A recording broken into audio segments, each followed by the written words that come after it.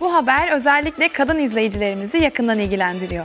Bir kadın basit yöntemlerle nasıl stil sahibi olur? Vücut ölçülerine göre nasıl doğru giyinir? İşte cevabı. to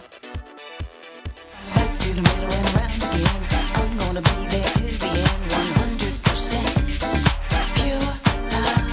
pure. Stil sahibi olmak için bir kadın ne yapmalı? kendi stilini belirleyen kişiler de aslında Ünlü modacı Erol Albayrak'tan kadınlara tüyolar Magazin 8'de. Kilolu bayanlarda her zaman sivri kesimler yani derin V yakalar, Ünlü modacı Erol Albayrak hem basit hem de ekonomik önerileriyle kadınların modayı yakından takip edebilmesi ve güzel görünmesi için Magazin 8 izleyenlerine önemli açıklamalarda bulundu. Tabii her şeyden önce kişinin kendini iyi tanıması. Yani fiziki olarak, e, ruh hali olarak e, çok iyi tanıması, kendini keşfetmesi çok önemli.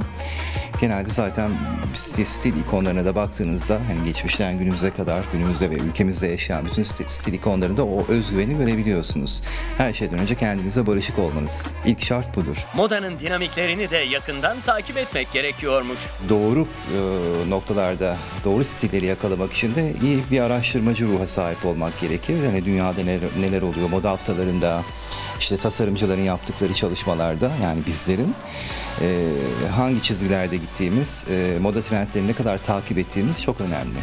Yani kendi stilini belirleyen kişiler de aslında ne kadar çok bizim gibi e, tasarımcılarla veya benzer kurumlarla ya da markalarla işi dışı olurlarsa aslında stillerini o kadar çok netleştirir ve e, topluma bunu daha rahat ifade edebilirler. Özellikle sosyal medya modayı yakından takip etmek isteyen kadınlar için bir alternatif. Yani sarı renk bu sene moda değilse bunu mutlaka bloggerlardan, stilistlerden ve moda ikonlarından görebilirsiniz. Sosyal medyada tabii ki internet dünyası da e, birçok imkan sunabiliyor artık.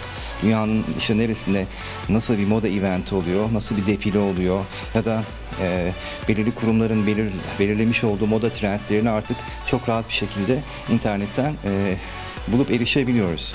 O yüzden e, biraz güncel ve sosyal olmakta kesinlikle fayda var. Her sene modayı yakından takip edenleri adeta büyüleyen Paris Moda Haftası da size fikir verebilir. Je veux de l'amour, de la joie,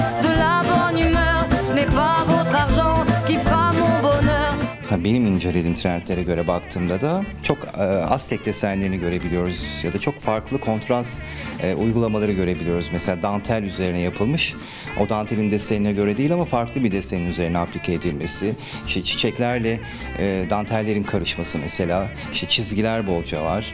E, çok fa- farvalı hani fırfır dediğimiz farvalı kesimler ön planda olacak. 2016 kışının renkleri ve kıyafet stilleri içinde önemli tüyolar verdi Erol Albayrak. Renklerde de mesela sarı tonlarının e, ve sarıdan hardala kadar uzanan renk tonlarının çok ön plana çıktığını göreceğiz. Önümüzdeki kış için bahsediyorum.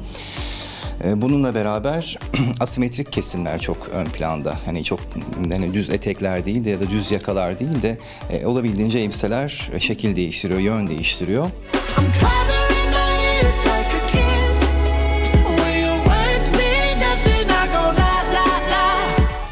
sahibi olmak için birkaç küçük sır bulunuyor aslında. Stil sahibi olmak isteyen bir kadın vücut ölçülerini iyi tanımalıymış. bir kadının anatomisini çok iyi tanıması gerektiğini söylemiştik. Özellikle iri göğüslü kadınlarda daha e, grift mesela kol evleri şu şekilde. Tabii uzun bir boyun da gerektirir bu arada ama e, ne kadar çok omuzlarını bir kadın ortaya çıkarırsa aslında göğüs kısımlarını da o kadar çok inceltmiş olabiliyor. İri göğüslü kadınlar için bu tarz bir büstiyer idealdir. Evet, evet. Vücut ölçülerinin illa 90-60-90 olmasına gerek yokmuş. E, asimetrik kesimler vardı, e, farba detayları vardı. Bunlar da belirli illüzyonlar yaratır. E, özellikle 90-60-90 değilse vücut ölçüleriniz çok rahat kamufle edeceğiniz e, mesela basenli kadınlarda bu farba e, bir noktada e, o aşırı iriliği biraz kırabiliyor. Göz o şekilde aslında yönlendiriliyor. Renklerde de aslında buz mavisini de ben bu e, sezonda önereceğim renklerden biri olarak sunabilirim. Burada mesela evet hep e, ben işleme çok severim. Bu önümüzdeki e, sezon trendlerinde de yine bolca işleme detayları var. E, elde yapılmış özellikle payetler, işte çiçek desenleri ama o klasik renk tonlarından biraz çıkıyoruz. Artık kış olduğu için de daha e, koyu tonlarda mesela gül desenleri, e, ipek kumaşlar üzerine işlenebiliyor. Göbek ve basen saklamakta doğru kıyafet seçimiyle mümkün oluyor. En büyük sıkıntılardan birisi tabii ki basen, iri basenler ya da göbekli hanımlar. Ee, ben burada tabii ki kişi özelde çalıştığım için çok sık rastlıyorum o tarz profillere ve dediğim gibi belirli illüzyonlar yapmak e, gerekiyor o noktada. E, işte burada gördüğünüz gibi daha asimetrik kuplar kullanıyoruz ve e, işte belirli aksesuarlarla kamufle edebiliyoruz. İşte pile detayları var. Bir de e, kilolu bayanlarda her zaman e, sivri kesimler yani derin V yakalar kullanılabilir.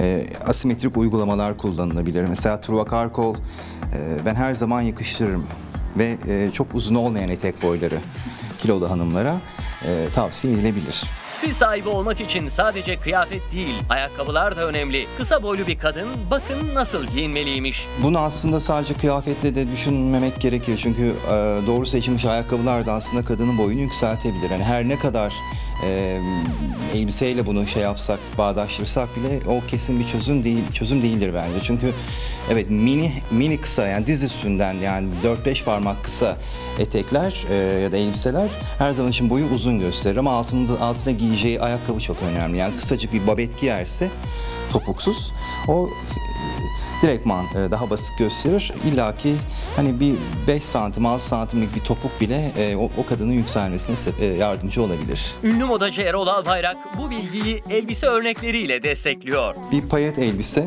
yani bir gece şıklığı için bunun altına e, yine çok uzun olmayan özellikle uzun boylu kadınlar için söylüyorum.